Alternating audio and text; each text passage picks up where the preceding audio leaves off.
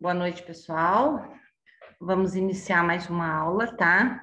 Já vou colocar, já coloquei para gravar e aguardando vocês um minutinho, tá bem?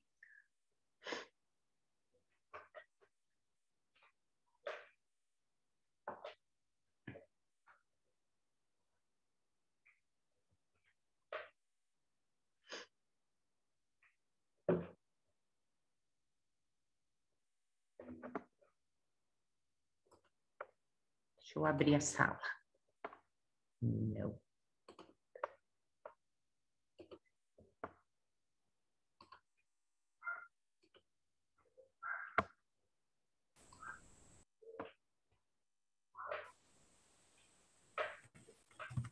Oi, Maria Vitória. Tudo bem? Tá me ouvindo? Tudo bem? É. Tudo bem. Esperar só mais. Eu tô, você tá me ouvindo? Tô, tô te Tá. ouvindo. Tá dando um, um delayzinho aqui, Oi? eu e você, mas tranquilo. É, dá umas tra... Travada.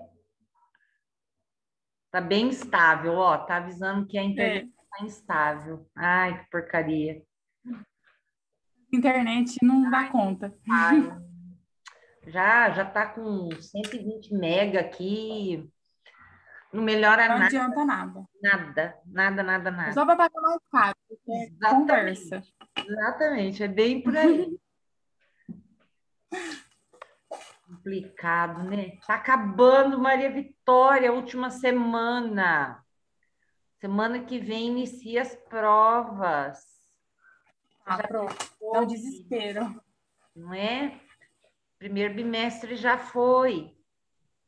Já foi, pronto. É, essa é a última aula que a gente faz teórica e eu fico devendo a anatomia interna dos peixes, tá? Prática, que daí eu faço Uhum. quarta. E acho que tem uma de flutuabilidade, que eu vou ver se eu consigo montar essa prática para mostrar para vocês como que vai funcionar, né? Com bexiga cheia, com a bexiga vazia, né?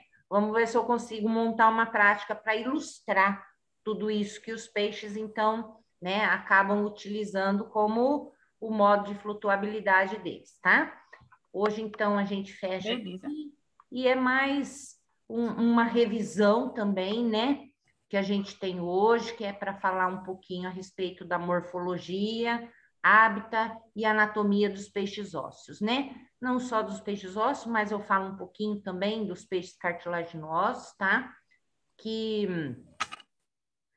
que é a- a- falar de modo geral desses peixes, tá? Então, não só de peixe ósseo, e só relembrando, então, que dentro de peixes nós vimos é, os agnatos, né, principalmente, que são aqueles peixes sem a mandíbula, então, que era, é, são agrupados, então, as feiticeiras e as lampreias, então, eram peixes, assim, bem diferenciados, né, que a gente vê aquele corpo mais parecendo a, a, as serpentes, né, mais parecendo cobras do que propriamente dito um peixe, e que esses peixes não tinham a mandíbula, então, né? É considerado ali um, um, um grupo informal de peixes, né, não tratados assim exatamente como, como peixes, né, incluído dentro, mas que é, quando se fala em peixes, mais se considera os gnatos tomados, né? Seja então é, é, os peixes cartilaginosos ou ósseos, né? E sempre lembrar, gente, que gnatos tomados é, é desde peixe cartilaginoso para frente, tá? Seja réptil, seja, é, seja os anfíbios, sejam aves ou sejam mamíferos, todos nós somos gnatos tomados por possuir, então, a maxila, ok? Mas dentro de peixe aqui, para fechar esse conteúdo no primeiro bimestre, vimos então esses agnatos, né? E depois entramos dentro dos gnatos tomados, que são os peixes cartilaginosos e os ossos. Dentro dos cartilaginosos, os tubarões, as raias e as quimeras, né? Que são peixes que vão possuir esse esqueleto, então, cartilaginoso. E os ósseos aí a gente tem é, é, dentro de osteites, duas classes aí, subclasses, né, que a gente trata, que são os actinopterígios, que são os, os peixes de nadadeiras raiadas, e os sarcopterígios. Faltou um Rzinho aqui na hora que eu digitei, tá? É sarcopterígios, então, é, é o outro grupo que são chamados de peixes de nadadeiras louvadas, tá? Bom, uma coisa que a gente tem que falar, né, principalmente aí a respeito é, é, desse hábito aí, da morfologia e também até mesmo da adaptação, né, das especializações para sobrevivência e desses peixes. E a gente tem que falar, né, tentar ver esse ambiente é, em que esses é, animais vivem, né? Então, diferentemente, né, eles vivem na água, né, enquanto a terra, então, é um ambiente totalmente diferente dos deles. Então, para se viver num ambiente aquático, é necessário que esses seres, então, tenham as suas adaptações. E quando a gente olha para esse grupo de peixes, a gente, né, é, é, é, claro que a gente já vê direto aí as relações que existem nesse corpo, né, essa morfologia, essa anatomia corporal e também a fisiológica. É isso que acaba trazendo, então, essas especializações para sobreviver em qualquer tipo de ambiente. Queira ou não, né, esse ambiente vai é, é, é, exibir, então, uma certa mudança nesses animais para que eles se adaptem, né, se adequem, então, a esse ambiente onde eles vivem, então. Então, os peixes cartilaginosos, a gente sabe que são peixes que têm esqueleto constituído totalmente de cartilagem, enquanto os peixes ossos a gente sabe que a constituição esquelética é de ossos, então, né? Basicamente de ossos. É lógico que vai ter ali as suas partes é, é, cartilaginosas, né? Mas que o, o, a maior concentração aí desse esqueleto está realmente ligado à presença óssea, então, tá?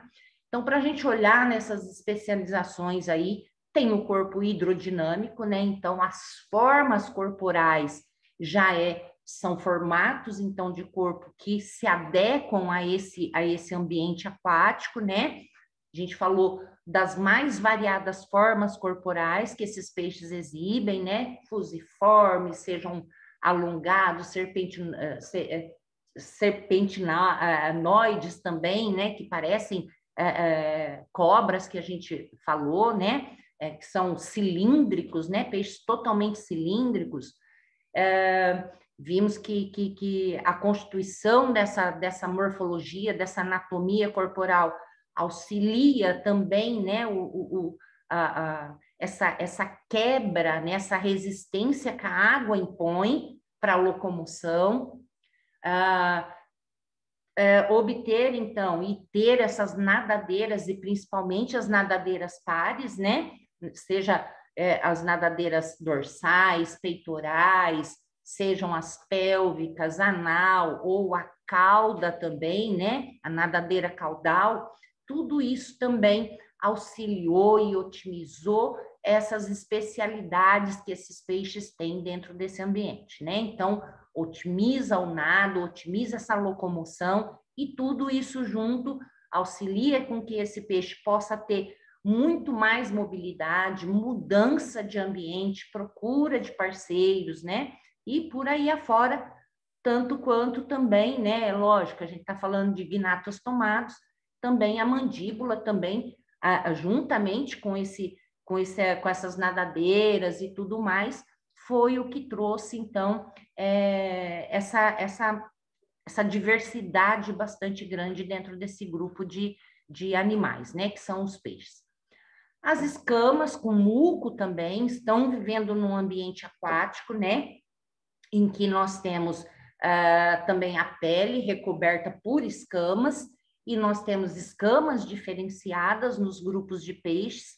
Sabemos que para os cartilaginosos é estritamente a, a, a gente tem a presença de escamas placoides, né? Que a gente encontra em tubarões e raias, quimeras normalmente vão ter o corpo nu, livres de escamas, e podemos ter algumas raias também, né? Ou tipos de tubarões que também poderão é, ter esse corpo sem. Mas uma grande maioria, principalmente dentro dos condrites, né? É, e que são o, o, o lado dos tubarões e raias, vão possuir esse tipo de escama que é então as placóides, tá? Uh, enquanto que nos peixes ósseos, então a gente encontra os outros tipos, sejam ganoides, sejam cicloides ou quitenoides, né? E uh, esse corpo recoberto de escamas também tem muita presença de glândula e que são produtoras de muco. Esse muco também a gente já falou que uh, é, é, um muco especializado, anti antibacteriano, né, que ele promove ali uma cobertura corporal, então, desse peixe contra patógenos, seja ele, né, é, microorganismos ou sejam até mesmo ectoparasitos, mas é claro que também, tal qual a defesa do nosso corpo externa, né, da nossa epiderme externa, não está livre 100% também. É lógico que eles têm ectoparasitos, eles vão pegar doenças fúngicas ou não, né? Mas que é a barreira de proteção que eles têm, então, as escamas e também o muco. Esse grupo também é, são animais que vão é, estar presentes nesse ambiente aquático e que é, eles vão ter que procurar sua comida, né? São uma grande parte desses animais são carnívoros, vão atrás de suas presas para se alimentar. Então, órgãos sensoriais nesse ambiente é bastante necessário, então, para esses peixes, né? Muitos peixes têm o hábito de viverem em cardumes também, tá? Uh, então, a gente sabe que existem vários tipos aí de órgãos sensoriais, desde narinas pregueadas, né, para a captação de, de, de, de, uh, de partículas químicas na água, tá? Que não, num ambiente terrestre não seria possível perceber, né? A gente às vezes percebe cheiros, né? Diferente, que também é um modo de de, de, de saber mudanças, mas que no deles aquático, então, essas narinas preguiadas também auxiliam e são cheias de células, então, nervosas, que captam, então, essas partículas para enviar para o cérebro, para né, decifrar o que é, se é uma presa, uh, diferença na concentração de, algum, de alguma partícula aí é, de algum elemento químico na água que faça com que é, se descubra se é bom ou não para esse, esse peixe, né? Se ele pode ficar nesse local ou se ele deve então sair. Então, órgãos sensoriais vão desde é, sem, mecânicos, né? Que é a linha lateral, que é bastante importante estar presente tanto em peixes cartilaginosos quanto também em peixes ósseos, então. Linha lateral presente nesses dois grupos de peixes e que é um órgão sensorial mecânico, então, tá? Então, vão sentir pressão da água, a movimentação de como que essa água está vindo. Então, são sentidas, então, através daqueles canais existentes, então, na linha lateral, onde essa água entra por dentro de tubos minúsculos, né? E vai, então, através da, da, desses tubos, entrar em contato com grupos de neuromastos. Aí vai essa água, então, ela vai exercer essa pressão, né? Ou movimentação em cima dessa, dessa cúpula gelatinosa, e esse grupo de neuromastos, então, vai é, pegar esse, esse estímulo e vai levar, então, até o, o nervo, né? Leva até o cérebro, então, para ser interpretado. Existem eletroreceptores, né? Órgãos sensoriais eletroreceptores, e aí a gente está falando, quando a gente trata né, dos peixes cartilaginosos, nós estamos falando dos, das ampolas de Lorenzin, muito importantes também, né, onde é quase que o mesmo sistema, só que aí a gente tem ah, ah, células especializadas ali também que vão ah, coletar essa informação, né? É um gel também que existe dentro desse canal, só que ele não exerce é, é, a função dele não é receber informação através de pressão ou de movimentação da água, e sim de impulsos elétricos que vão atravessar essa gelatina, né? Esse gel que existe nesse canal do neuromasto, e aí sim o nervo capta e leva para o nervo da linha lateral que está ligada ao cérebro, então e aí é interpretado também uh, uh, esse estímulo. Temos os olhos também e muitos outros tipos de órgãos sensoriais que faz com que, então, esses animais tenham é, é, é, esse sentido bastante apurado. Uma vez que, se a gente olhar a anatomia de um peixe, um peixe não sabe virar para trás, né? A cabeça, ele não, não tem essa movimentação. E esses órgãos, então, é o que fazem eles sentirem o ambiente como um todo, tá? Então, é bastante, bastante equipados aí em relação a órgãos sensoriais. Outra coisa que eles necessitam é a flutuabilidade, estão dentro de um ambiente onde eles podem é, ficar em diferentes profundidades, tá? Então, é necessário utilizar, então, dessa flutuabilidade seja mais na superfície, seja é, no meio da corrente, ou então mais próximo ao fundo. Então, é lógico que ele vai precisar aí de um órgão que, então, o ajude a fazer, então, que, que estabeleça essa flutuabilidade. Se a gente pensa, a gente se joga dentro da água, a gente logo afunda. Se você não bater perna e braços, né, e se movimentar, você afunda. A gente afunda por quê? Porque nosso corpo é mais denso, né? Mais denso do que a água. O que, que eu tenho que fazer para boiar? Eu tenho que inflar o pulmão e fechar, né? Fazer com que dentro do meu corpo tenha uma bolha, né? Que faça com que meu corpo fique um pouco mais leve. Então, eu diminuo, então, a minha, a, a, a minha concentração fica menor do que a da água, então eu acabo ficando mais leve. Nesse caso, então, os peixes vão usar, se for um peixe cartilaginoso, os tubarões não têm a bexiga natatória, né? Então, eles vão utilizar o quê? Possuem um fígado altamente concentrado de lipídios, então. Essa concentração de gordura é um órgão bastante grande, o fígado, e ele concentra uma grande quantidade de óleo e que o óleo tem uma densidade muito menor do que a água. Então, isso faz com que eles consigam ficar, é, conseguem essa flutuabilidade juntamente com o nado, tá? Quando a gente trata de peixes ósseos, então a gente já está tratando de outra coisa. Esses peixes vão possuir, então, bexiga natatória, tá? Então, é uma bexiga que existe ligada ou não ao trato digestivo, né? Ou aqui mais próximo à, à, à, faringe, à laringe, tá? Então, o que, que acontece? Posso ter peixes que têm uma ligação com esse trato da boca, né, digestório, e tenho outros peixes que não têm essa ligação.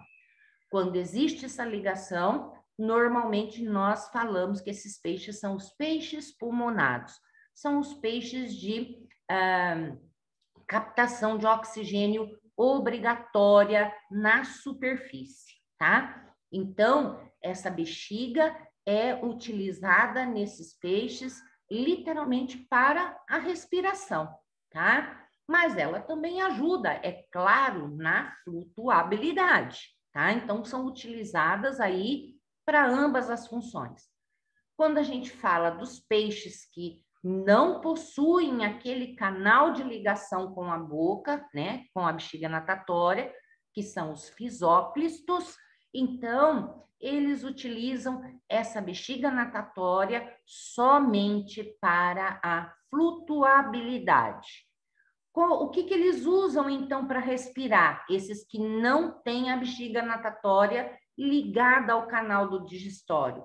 Utilizam as brânquias para respirar, é lógico, tá? Então, peixes que não têm aquela ligação vão respirar através das brânquias, tá? Os outros peixes que têm a ligação vão encher a sua bexiga natatória. Os peixes que não têm essa ligação e que respiram por brânquias, como que eles fazem com a flutuabilidade? Como que eles enchem a bexiga natatória? Então, a bexiga natatória é diferenciada, onde vai ter uma válvula oval, em que ela se abre para escapar esse gás que está lá dentro quando esse peixe quer afundar. Então, essa válvula se abre e esse gás vai para a corrente sanguínea. Fechou, esse peixe ficou mais denso, ele afunda na coluna d'água, ele nada mais para baixo. Meu Deus, e agora para ele subir? Como que ele faz? Esse gás que foi solto lá no sangue, o que, que acontece? Acidifica o sangue. Acidificando o sangue, na hora que ele quiser subir novamente, vai fazer o quê? Essa a hemoglobina do sangue, então ela tem toda uma rede ali sanguínea também ligada, né, que é chamada de rede retimirabile, é ligada também à bexiga natatória. Então, na hora que esse peixe não quer mais ficar no fundo e quer subir, ele faz o quê? ele deixa esse oxigênio que está se desligando da hemoglobina, porque o sangue está ácido, e esse, e esse é, gás que está soltando, então, o oxigênio que está soltando do sangue, entra de novo para dentro da bexiga natatória, inflando ela e fazendo com que o peixe suba, então. Ficou, me... Ficou claro? Pro. Bom, aqui, fendas branquiais, né? Só para falar aqui um pouquinho do sistema respiratório e os condrites, como que eles respiram? Respiram sempre nadando e a, a água entra pela boca e vai passar através das fendas branquiais nas brânquias. A mesma coisa do que os peixes ósseos, né? Que também vão ter brânquias, só que cobertas por opérculo, né? Que é aquele opérculo móvel. Então, eles abrem a boca, fecham o opérculo e entra muita água. Fecha a boca e aquela água ali, né? Vai ficar em contato com as brânquias e aí fazer aquela troca contra corrente que vai fazer com que uh, o gás carbônico saia e o oxigênio, então, é, entre para dentro da corrente sanguínea tá? Ah, então, aqui, ó, só deixando aqui que fendas branquiais são nos, nos peixes cartilaginosos, né? E que eles não têm opérculo cobrindo essas fendas branquiais. As brânquias é, nos, nos peixes ósseos, então, vai ser recoberta por opérculo, tá? E que os peixes aqui também têm pulmão, que são os pulmonados que captam oxigênio do, do atmosférico. Eles têm opérculos e, e têm brânquias também? Tem, tem brânquias e tem opérculo. Mas o que? Eles respiram mais pela captação na superfície.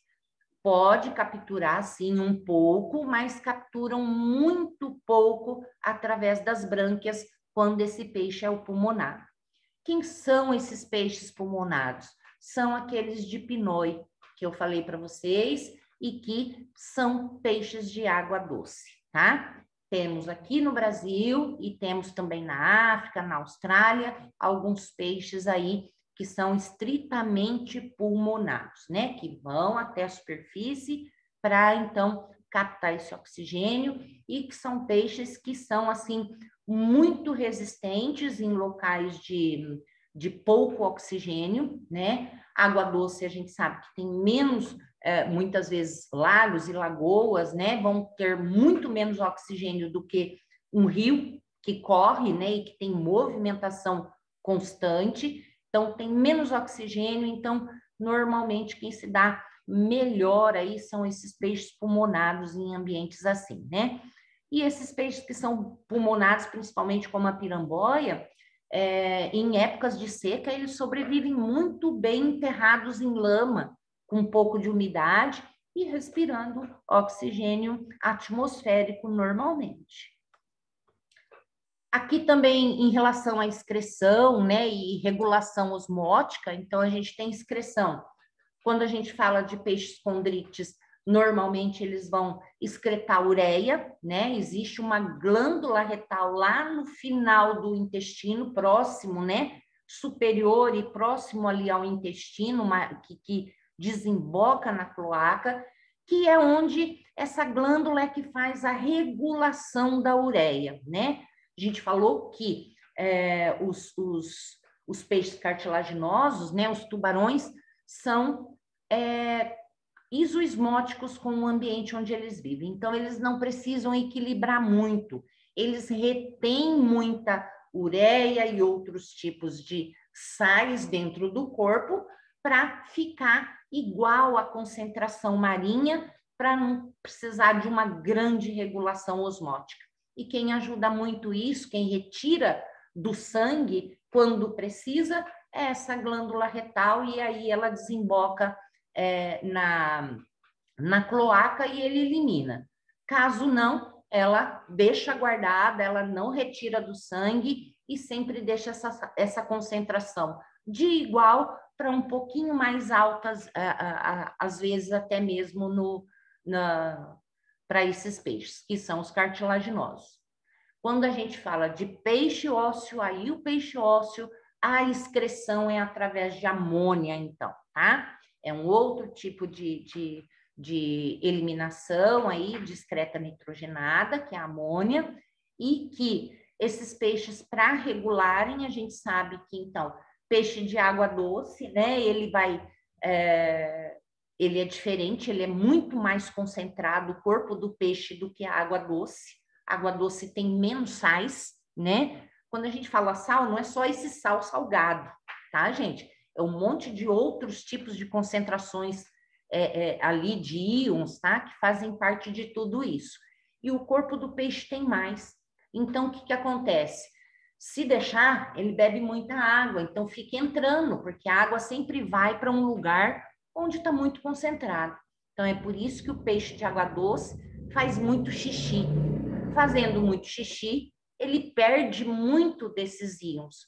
Então, o que, que acontece? as brânquias vão se encarregar de quê?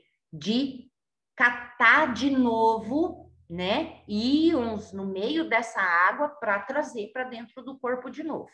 Então a regulação é feita basicamente nesses termos.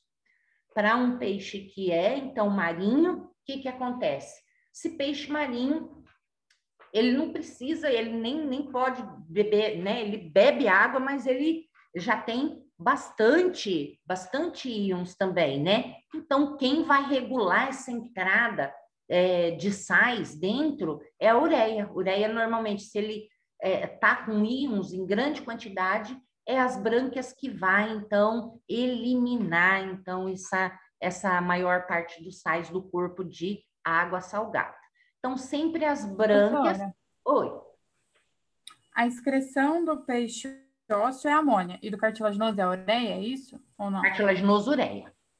Isso. Tá, e é o ósseo amônia, né? Amônia para os peixes ósseos. Exato. Qualquer Beleza. um. Seja, seja de água doce ou água salgada, tá? Bom, boca. Se a gente olhar também essa boca, gente, né? Então, a gente tem, uh, uh, se a gente olhar um peixe cartilaginoso, a gente falou que essa boca, ela é mais ventral, né? mas a gente ainda leva em consideração, é mais ventral, enquanto que a gente olha os peixes ósseos, essa boca é bem terminal, bem na frente mesmo, né? A gente tem algumas exceções, é lógico, que nem o cascudo que eu falei para vocês, que a boca dele é mais para baixo. Mas é mais para baixo porque literalmente ele é comedor de fundo, tá?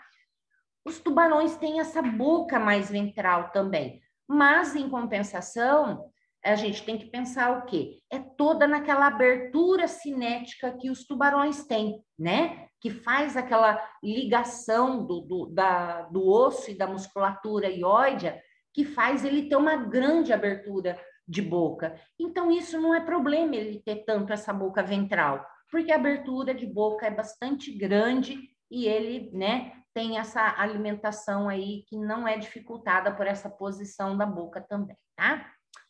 É... Sistema circulatório, a gente falou que é um coração, né? Simples, que vai ter ali, é, particularmente, dois, duas cavidades, que é principalmente aí constituída de um átrio e um ventrículo, e no início do átrio a gente tem um seio venoso, que é onde o quê? É a primeira entrada para esse átrio que vem o sangue venoso do corpo. Entrou esse sangue venoso dentro desse átrio, esse átrio, então, manda para o ventrículo, que é a próxima câmara, então.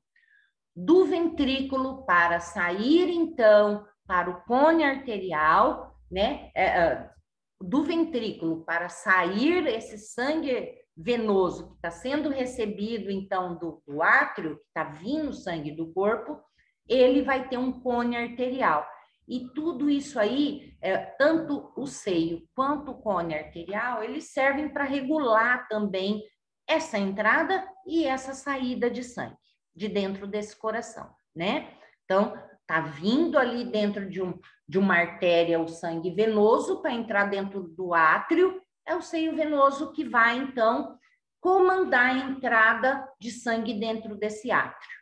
Do átrio passa para o ventrículo e do ventrículo também o cone arterial é que controla a quantidade que vai lá passar para as brânquias, então, tá?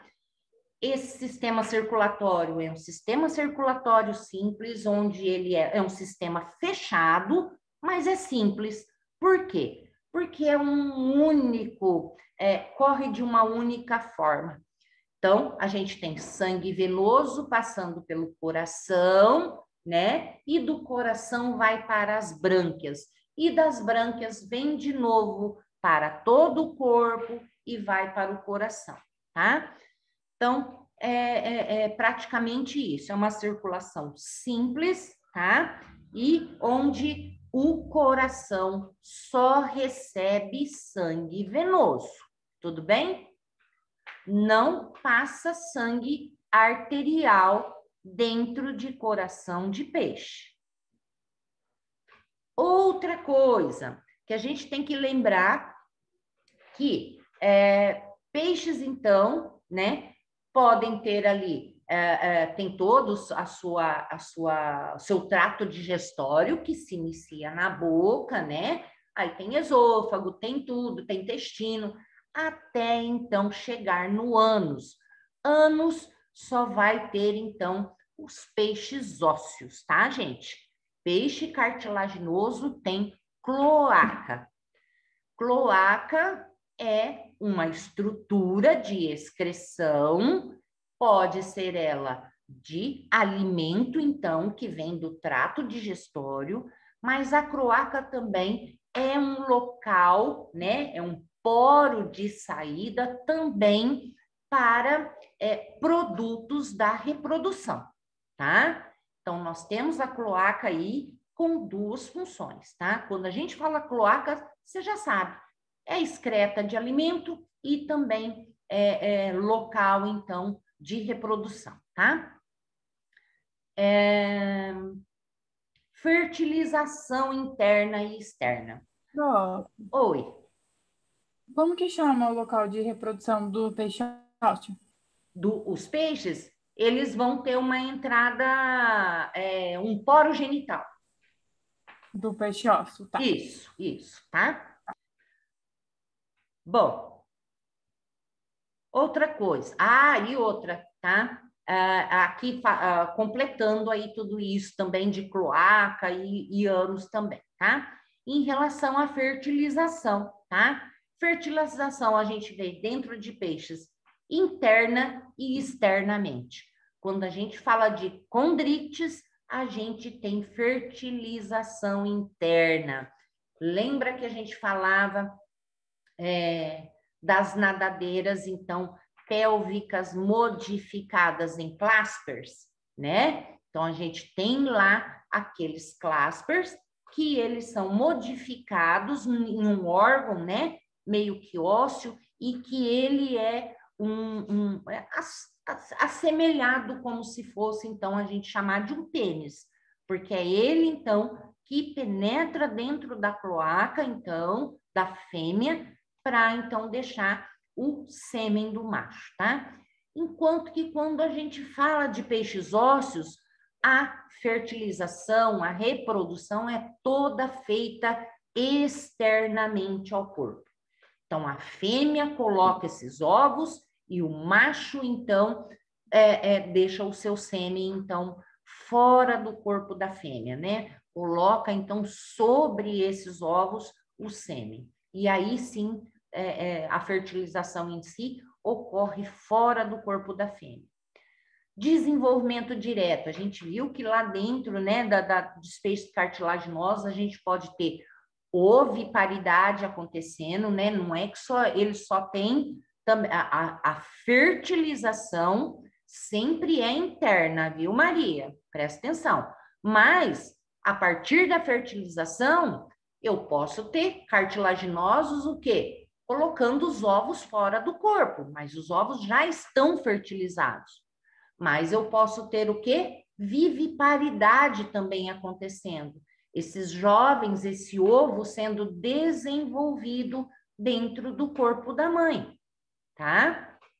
Enquanto que dentro da reprodução externa, o desenvolvimento também é no ambiente, é dentro do ambiente aquático que ele ocorre, tá? Não utiliza o corpo da mãe, enquanto que nos cartilaginosos, sim, podem ou não utilizar o corpo da mãe.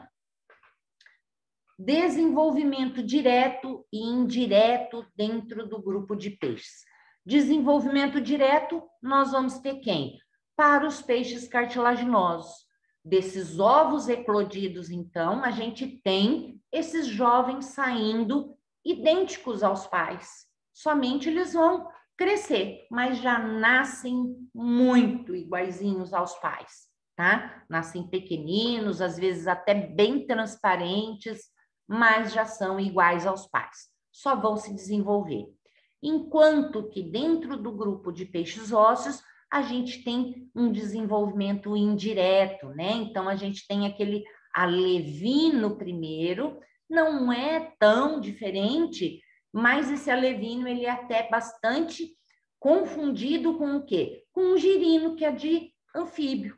Ele é, bem, ele é mais diferentinho, ele não parece. Se você pegar um alevino de qualquer peixe, eles eles se parecem muito, você não sabe qual espécie é. Então, por isso que é indireto. Aos poucos que ele vai, né, saindo dessa fase larval, aí sim ele se parece com os pais, então, tá?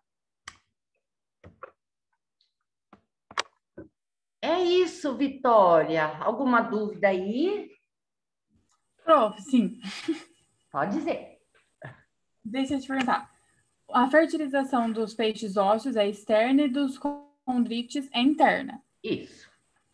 Aí no desenvolvimento do peixe ósseo é indireto e do cartilaginoso é direto, mas ele pode, depois de fecundar, pode colocar para fora? É assim. Isso que eu não entendi. É, ah, tá. O desenvolvimento, é, quando a gente fala desenvolvimento direto ou indireto, é depois que nasce, depois que o ovo abre, hum. tá? Então, tá. esse, o, o, desenvolvimento indireto é quando esse ovo eclode e sai uma larva, que é muito diferente do pai e da mãe. Ele uhum. já está nadando, mas ele é diferente. E o direto é tá. é quando já nasce igual. Aí, em, uh, em relação a, a fertilização e o desenvolvimento do embrião. A gente ainda está falando dentro do ovo, tá? Uhum. Então, vamos colocar lá dentro dos tubarões. Tubarão inseminou a fêmea, o que, que acontece? Esses espermatozoides do tubarão vai lá no ovócito da tubaroa, tá? Uhum. Fecundou, aí o que, que acontece? Tá lá começando a fazer aquelas divisões, vira mórula, do mesmo jeito que um humano, e vem através do, do, do, do oviduto da fêmea, tá? No oviduto, pouco antes de chegar perto da cloaca da, da, da, da tubaroa, ganha a casca do ovo, tá? Entendi. Ganhou a casca do ovo, se ela for um tubarão que, que é ovíparo, ela vai colocar esse ovo para fora. Esse ovo é uhum. é colocado em meia vegetação e dentro desse ovo já tem o vitelo que vai sustentar esse esse tubarãozinho, essa raiazinha até o final. O ovo abriu, sai, tá. a, sai a raia ou o tubarão. Mas tem tá. os tubarões que, ou as raias que são vivíparas, que acontece o quê? Vai lá, fecunda o, o ovo, o óvulo, tá? E o que, que acontece? Esses tubarõezinhos ficam ali.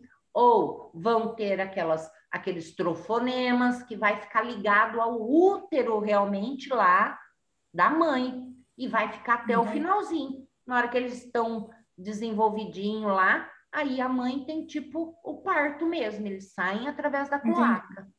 Tá? Entendi. Não tem formação de casca de ovo, tá? Tá. Quando é vivido. Beleza. Será que foi mais claro? Entendi, agora entendi. Então tá bom. Mais alguma coisa? Não, pro agora ficou Tranquilo? certo. então tá bom, Vitória. Qualquer coisa é só anotar, tá bom? Beleza, prof. Beleza, até mais. Obrigada, tá? Até. Beijo. Nada. Beijo, tchau, tchau. boa noite. Boa noite. Tchau. Tchau, tchau.